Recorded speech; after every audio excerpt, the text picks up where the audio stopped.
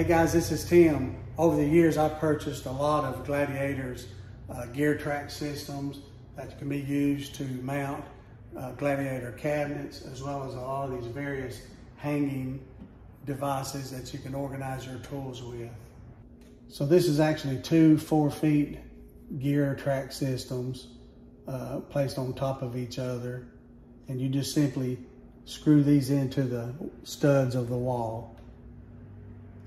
And from there you can hang up several of uh, Gladiator's uh, organizing systems like the, the uh, loop hangers, the storage bins, the uh, twin hooks, and so forth.